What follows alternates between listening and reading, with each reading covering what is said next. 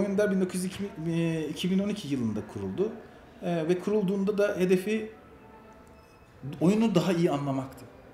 Bir oyun kültürünü bize özgü, bizim anlamlandırdığımız biçimde e, ve bu doğru metrikleri anlamak. Yani o dünya oyun endüstrisini anlamak, bunu yaymak, kendi şeyimizi ne der, bilgi havuzumuzu genişletmek, hem niteliksel hem de niceliksel açıdan geliştirmek ve sürdürülebilir bir başarıyı yakalamak için nasıl düşünmemiz gerektiğini, nasıl yaşamamız ve nasıl yapmamız gerektiğini anlamak üzere kurduk aslında.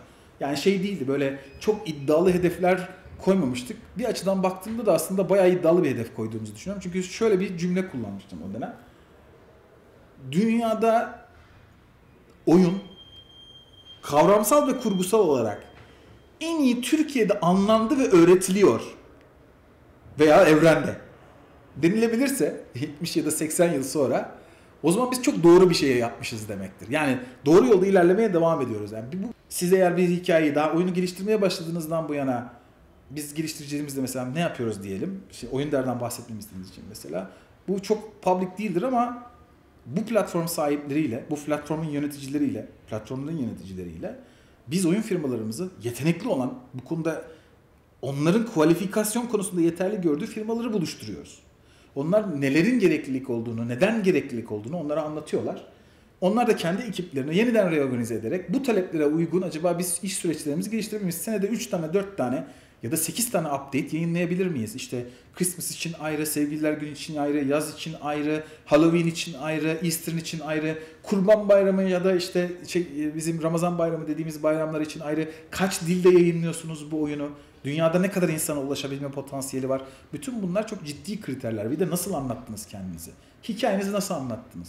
Hem görsel olarak nasıl anlattınız hem yazınsal olarak nasıl anlattınız? Bu başkasına ilgi çekici gelebilir mi? Yani mesela işte bir uzay macerası oyunu yapıyorsunuz. Bu uzay macerası oyununda sizi diğerlerinden ayıracak çok önemli bir şey var oyun geliştiricilerden. Bunu anlatabildiniz mi size feature edecek olan ekibe? Ve onlar da bunu doğru biçimde aktarabildiler mi? Çünkü onlar aslında bunu almaya hazırlar. Çünkü onlar yeni hikaye arıyorlar. İyi hikaye arıyorlar. Tıpkı şeyin e, sinemadaki yapımcı şirketlerin iyi senaryo araması gibi bir şey bu. Dolayısıyla o anlamda çok bir fark yok. İşte biz bunların kendi geliştiricilerimize nasıl ulaşabileceğiyle ilgili dert eden ve bununla ilgili çalışan bir derneğiz. Çünkü bu bilgi seviyesi gelişmezse sürdürülebilir hangi platformda olursa olsun sadece kon, mobil platformlar için bahsetmiyorum.